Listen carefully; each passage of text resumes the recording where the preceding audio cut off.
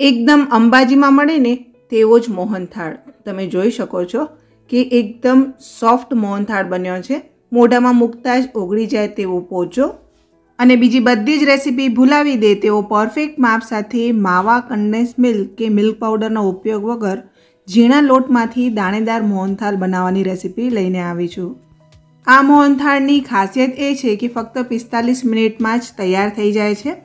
તો એકદમ સહેલી રીતે બનતા મોહનથાળની આ રેસીપી શરૂ કરું એ પહેલાં તમને લોકોને રિક્વેસ્ટ કરીશ કે જો વીડિયો પસંદ આવે તો વિડીયોને એક લાઇક ચોક્કસથી આપજો, તમારા ફ્રેન્ડ્સ અને ફેમિલી મેમ્બર સાથે શેર કરજો. ચેનલ પર પહેલીવાર આવ્યા હોય તો ચેનલને સબસ્ક્રાઇબ કરી બાજુમાં આપેલું બેલાઇકન પ્રેસ કરી ઓલ નોટિફિકેશન પ્રેસ કરજો, જેથી કરીને નવા નવા વિડીયોઝના નોટિફિકેશન તમારી પાસે સૌથી પહેલાં પહોંચી જાય. તો સૌપ્રથમ આપણે અહીંયા બેસનનું માપ જોઈ લઈએ. તો કપ પ્રમાણે આપણે આ રીતે ફૂલ કપ ભરીને લેવાનું છે. આ રીતે ફૂલ કપ ભરીને લેવાનું છે. અને વેટ મશીન ઉપર પણ હું તમને બતાવી દઉં છું કે મેં કેટલું બેસન લીધું છે. બે કપ બેસન લેવાનું છે અને બંને કપ જે બેસન છે આ રીતે એકદમ ફૂલ ભરેલો હોવો જોઈએ. વજનમાં આ બેસન લગભગ ત્રણસો ગ્રામ જેટલો થાય છે. ટુ નાઇન્ટી ફાઇવ ગ્રામ છે એટલે ત્રણસો ગ્રામ જેટલું બેસન થાય છે. અને હવે અહીંયા કપ પ્રમાણે એક કપ મેં ઘી લીધું છે અને વન થર્ડ કપ મેં અહીંયા દૂધ લીધું છે. ઘી અને દૂધ બંને રૂમ ટેમ્પરેચર ઉપર હોવા જોઈએ. હવે ત્યારબાદ બેસનને આપણે પહેલાં સારી રીતે ચાળી લઈશું. અહીંયા મેં જે ઝીણું બેસન હોય આપણા ઘરમાં એનો જ ઉપયોગ કરીને આ મોહનથાલ બનાવ્યો છે. આ રીતે બેસનને ચાળવાથી તેની અંદર જો દાળના કણ હોય તો તે અલગ થઈ જતા હોય છે. તો આ રીતે બેસનને ચાળી લીધું અને હવે જે કપમાં આપણે ઘી અને દૂધ મેઝર કરીને રાખ્યું હતું, તેમાંથી જ આપણે ત્રણ ટેબલ સ્પૂન જેટલું ઘી આ લોટમાં ઉમેરીશું. અને જે દૂધ આપણે રાખ્યું હતું, તેમાંથી જ આપણે ત્રણ ટેબલ સ્પૂન જેટલું દૂધ લોટની અંદર ઉમેરીશું. ઘણા લોકો લોટમાં દૂધ અને ઘી જે ઉમેરવાનું હોય તે અલગથી ઉમેરતા હોય છે અને માપમાં આ રીતે વન થર્ડ કપ દૂધ અને વન કપ ઘી બતાવતા હોય છે. પણ એ રીતે જો તમે લેશો તો ઘીની માત્રા વધારે થઈ જતી હોય છે અને હું જે તમને મેઝરમેન્ટ બતાવી રહી છું તે એકદમ પરફેક્ટ માપ સાથે બતાવી રહી છું. તો તો દૂધ અને ઘી મેં એકદમ સરસ લોટ સાથે મિક્સ કરી લીધું છે. આ રીતે દાબીને આપણે તેને ઢાંકીને પંદર મિનિટ માટે રેસ્ટ ઉપર રાખીશું. બસ પંદર મિનિટ થઈ જાય ત્યારબાદ આપણે આ લોટને અલગ પાડવાનો છે, છૂટો પાડવાનો છે. કારણ કે દૂધના લીધે આ રીતે લોટમાં થોડાક ગાંઠા પડી જશે તો આપણે તેને પહેલાં છૂટો પાડીશું. ત્યારબાદ મારી પાસે આ રીતની ચાર ચાયણીઓ છે, જેમાં એક મેદાની છે, એક ઘઉંનો લોટ ચાળવા માટેની છે, એક ચોખા ચાળવા માટે છે અને એક ઘઉં ચાળવા માટે છે. તો જે ચોખા ચાળવા માટેની ત્રીજા નંબરની જાળી છે, આપણે તેનો ઉપયોગ કરીશું. આ ચાયણામાં જ્યારે આપણે લોટને ચાળીએ છીએ ને, ત્યારે લોટના જે બધા જ દાણા છે ને, તે એક સરખા પડે છે અને મીડિયમ સાઇઝના પડે છે. એટલે ઘઉં ચાળવાની ચાણીનો ઉપયોગ નહીં કરવાનો. અને આ રીતે ચોખા ચાળવાની ચાણીથી આપણે આ લોટને ચાળીશું, તો એકદમ સરસ આપણો જે લોટ છે એ દાણેદાર તૈયાર થઈ જશે. તો અહીંયા બહુ વધારે વાર સુધી મેં લોટને રાખ્યું નહોતું, એટલે બધો જ લોટ ચાયણામાં ઇઝીલી ચડાઈ જશે અને આ રીતે દાણેદાર આપણો લોટ તૈયાર થઈ જશે. એકદમ પરફેક્ટ છે. હવે આપણે આમાંથી મોહનથાળ બનાવવાની શરૂઆત કરીએ. તો કઢાઈની અંદર કપમાં જે ઘી હતું એ બધું જ ઘી અત્યારે આપણે ઉમેરી લેવાનું છે અને તેમાં આપણે આ લોટ ઉમેરીશું. ગેસની ફ્લેમ જે છે એ મીડિયમ ઉપર જ રાખવાની છે અને ઘી થોડું ગરમ હોય એ સમયે જ તમારે લોટ ઉમેરી લેવાનું. ઘી વધારે પડતું ગરમ પણ ના હોવું જોઈએ, એ વાતનું ખાસ ધ્યાન રાખજો. નહીં તો જેવો તમે લોટ ઉમેરશો તેવો લોટ બળી જશે, અમુક જગ્યાએથી બળી જશે અને મોહનથાળનો જે ટેસ્ટ છે તે ખરાબ થઈ જશે.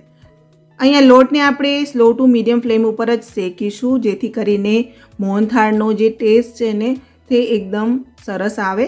કારણ કે જો તમે હાઈ ફ્લેમ ઉપર તેને શેકશો ને, તો તેનો કલર ઝડપથી બદલાવા લાગે છે, પરંતુ તેનો પ્રોપર ટેસ્ટ નથી આવતો. તો લગભગ બેથી ત્રણ મિનિટ બાદ આ રીતે લોટ શેકાતો જશે, તેમ તેમ હળવો બનતો જશે અને તેમ તેમ તમે જોઈ શકો છો કે લોટમાં ઘી જે છે તે છૂટું પડતું જશે. સ્ટાર્ટિંગમાં તમને લોટમાં ઘી ઓછું લાગશે, પણ જેમ જેમ તે શેકાશે, તેમ તેમ આ રીતે હળવો બનશે અને લોટ જે છે તે ફૂલવા લાગશે.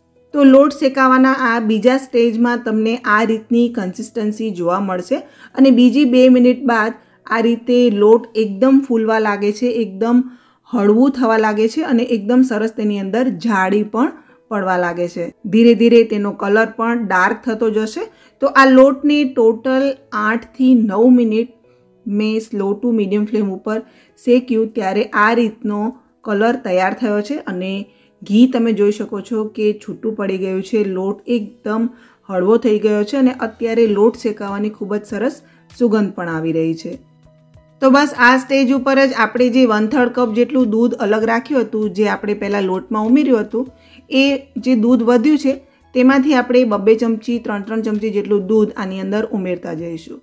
એકસાથે બધું દૂધ નથી ઉમેરવાનું. પહેલાં મેં અહીંયા ત્રણ ચમચી જેટલું દૂધ ઉમેર્યું અને તેને આ રીતે ચલાવીશું. ગેસ બિલકુલ સ્લો ટુ મીડિયમ ઉપર જ રાખવાનું છે. ફરીથી હું તેની અંદર આ રીતે બેથી ત્રણ ચમચી જેટલું દૂધ ઉમેરી લઉં છું અને તેને પણ આપણે આ રીતે મિક્સ કરતા જઈશું.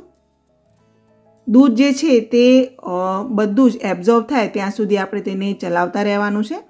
ગેસ બિલકુલ સ્લો ટુ મીડિયમ ઉપર જ રાખીશું. કંદોઈની આ એકદમ સિક્રેટ ટીપ હોય છે.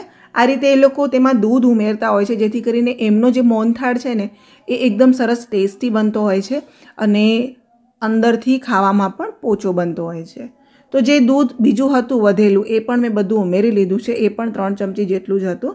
અને તે પણ હું એકદમ સરસ મિક્સ કરી અને બધું દૂધ એબ્ઝોર્બ થાય ત્યાં સુધી તેને ચલાવી લઉં છું.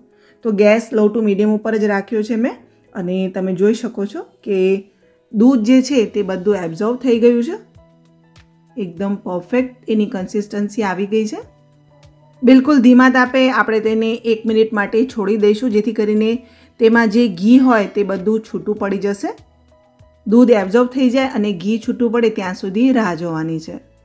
અને તો જ તમારો મોહનથાળ એક મહિના સુધી ખરાબ નહીં થાય. તમે જોઈ શકો છો, અહીંયા બધી બાજુથી ઘી છૂટું પડ્યું છે. હવે કડાઈને હું ગેસ પરથી નીચે ઉતારી સાઈડ પર રાખું છું અને આને આપણે થોડુંક ઠંડુ થવા દઈશું. રૂમ ટેમ્પરેચર ઉપર આવે ત્યાં સુધી આપણે રાહ જોઈશું. અહીંયા લોટ ગરમ હોય એ સમયે જ આપણે તેમાં પાંચ ચમચી જેટલો જાયફલ પાવડર એડ કરીશું અને અડધી ચમચી આપણે તેમાં ઇલાયચી પાવડર એડ કરીશું. અને આ બધું જ આપણે બરાબર મિક્સ કરી લઈએ. જાયફલ અને ઇલાયચી આ રીતે લાસ્ટમાં ઉમેરવાથી તેની જે સુગંધ છે તે જળવાઈ રહે છે. હવે બીજી બાજુ આપણે ચાસણી બનાવવાની શરૂઆત કરીશું તો તેના માટે મેં અહીંયા એક કપ ખાંડ લીધી છે, જે વજનમાં અઢીસો ગ્રામ જેટલી છે અને તેમાં આપણે અડધા કપ જેટલું પાણી ઉમેરીશું. થોડાક કેસરના તાતણા આપણે તેમાં એડ કરીએ. ગેસ મેં સ્લો ટુ મીડિયમ ફ્લેમ ઉપર ચાલુ કરી દીધો છે.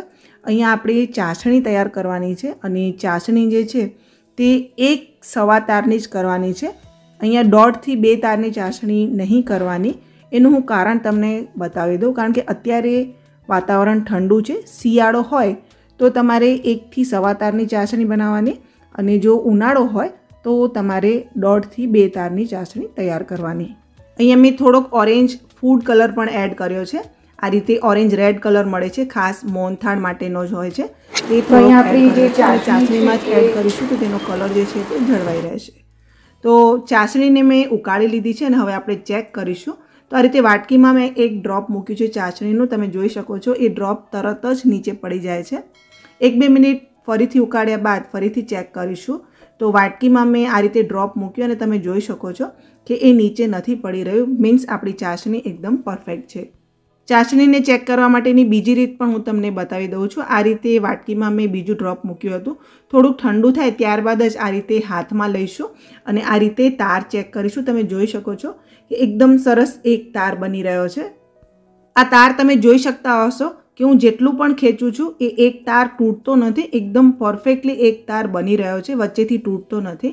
બસ આ ચાસણી તૈયાર થઈ જાય એટલે આપણે તેને ગેસ પરથી નીચે ઉતારીશું. થોડીક ઠંડી થાય ત્યારબાદ આપણે તેને કડાઈમાં એડ કરીશું. ચાસણીને પણ થોડીક ઠંડી કરવાની છે, ત્યારબાદ જ એડ કરવાનું છે. ઠંડી એટલે કે તે બહુ ગરમ હોય તો તેને પાંચ છ મિનિટ માટે રહેવા દેવાની અને ત્યારબાદ એડ કરી અને આ રીતે મિક્સ કરી લેવાનું. શિયાળો છે એટલે બેસન અને ચાસણી જો બહુ ઠંડી થઈ જશે ને, તો પણ તમે તેને મિક્સ નહીં કરી શકો. એટલે એ બંને થોડા થોડા ગરમ હોય, થોડા ઠંડા થાય, એ સમયે બંનેને મિક્સ કરી લેવાનું. મિક્સ કરશો એટલે આ રીતે ઘટ મિશ્રણ તૈયાર થઈ જશે.